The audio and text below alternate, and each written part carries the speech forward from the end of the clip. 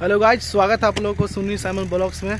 तो गाइज़ अभी मैं हूँ ईंट उद्योग में। आप देख सकते हैं मेरे पीछे, ये कितने सारे यहाँ पे ईंट लगा हुआ है, जो कि अभी कच्चा है।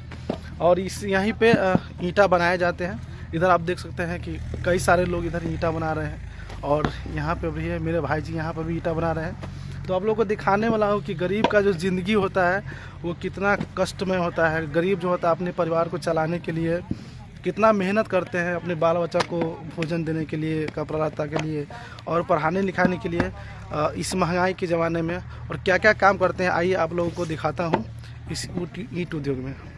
गाज यहाँ पे देख रहे हैं कि कैसे ईंट बनाए जा रहे हैं यहाँ पे। और ये है मिट्टी मिट्टी को पूरी तरह से सान दिया गया है और उसके साथ यहाँ पे बालू रखा हुआ है। आप देख सकते हैं किस तरह से यहाँ पे ईंटा बनाए जा रहे हैं। ये मेरे भाई जी है जो ईंटा बना रहे हैं। आप देखिए।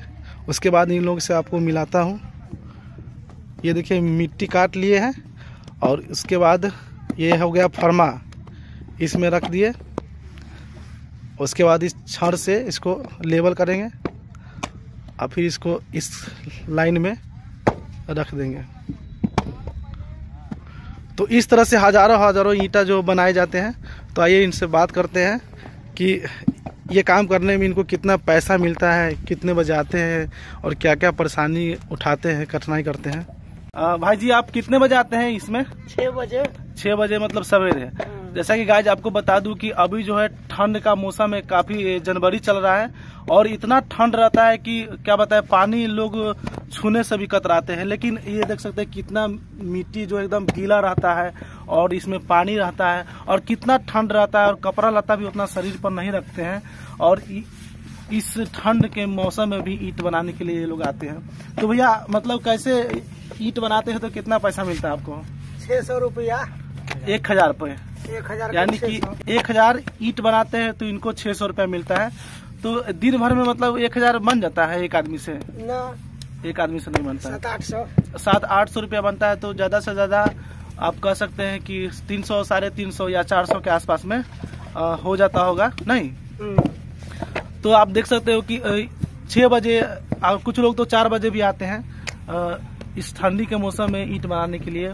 और ये काम मजबूरन बस करना पड़ता है आप देख सकते हैं कि यहाँ पे ढेर सारे कच्चा ईटा जो है कुछ जो है यहाँ पे अभी बन रहा है और इधर आप देख सकते हो। ये सब यहाँ पे लगाया गया है और खाना पीना भी है यहाँ पे, आप देख सकते हैं। तो आइए आप लोगों को और आदमी से मिलाता हूँ। तो आप लोग तो जानवे करते हैं, गरीब का ज़िंदगी जो होता है किस तरह से होता है। इस ठंड के मौसम में भी अपने परिवार को चलाने के लिए लोग जो है आते हैं ये काम करने के लिए, ये पानी वाला। आइए आपको और आदमी से भी मिलाता हूँ। ये देखिए, ये ईटा है। ये जो ईटा है, ये ईंट ये अभी कच्चा है और इसको पकाया जाएगा, आप देख सकते हैं इस ईट को। और इधर यहाँ पे बन रहा है। और ये जो ईंट है, इसको सुखा करके जब ये सूख जाता है तो इसको ले जाया जाता है। उधर आप देख सकते हैं वहाँ पे चिमनी का वो जो बामा बना हुआ है वहाँ पे, और वो जो धुआँ निकल रहा है वहीं पे ईंट को पकाया जाता है। और जब पक जाता है तो फिर इसको यहाँ से सेल किया जाता है।